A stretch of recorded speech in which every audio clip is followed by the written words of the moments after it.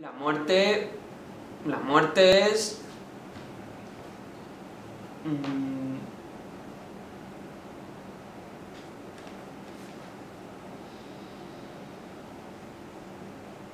Hay preguntas que no se pueden contestar. Die Europäer haben eine sehr tragische Vision des Todes. Hay culturas que están mucho más preparadas en este tipo de situaciones. porque no estamos preparados. Era un inmaduro. Se puede ser egoísta siempre y cuando respetes el egoísmo de los demás.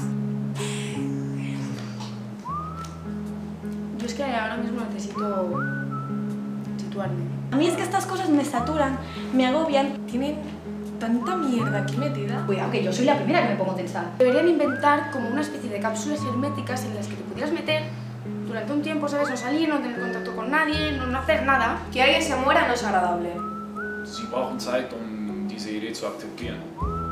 Und wenn, wenn man das denkt, das, das ist halt absurd, weil also wir, wir können nichts machen, um, um den Tod zu vermeiden.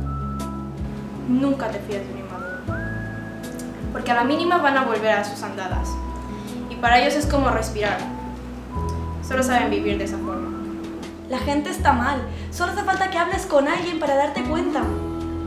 A la que te despistas, te sueltan un drama. Estás aquí y ya no estás.